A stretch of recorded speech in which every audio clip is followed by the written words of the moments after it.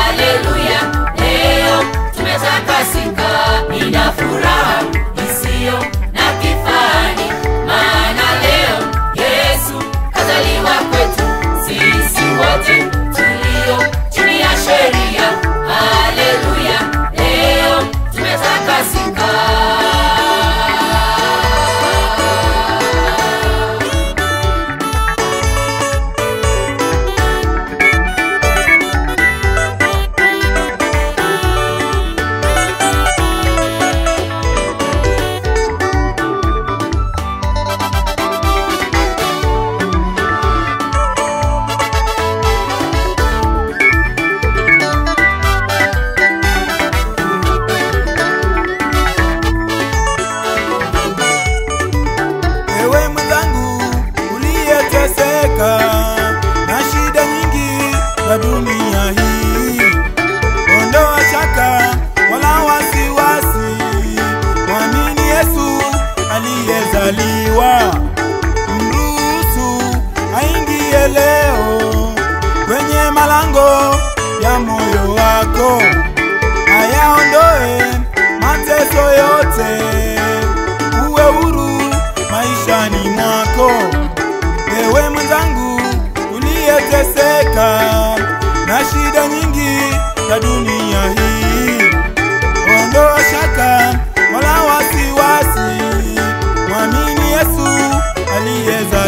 wa mulusu ayingiyeleo kwenye malango ya moyo wako.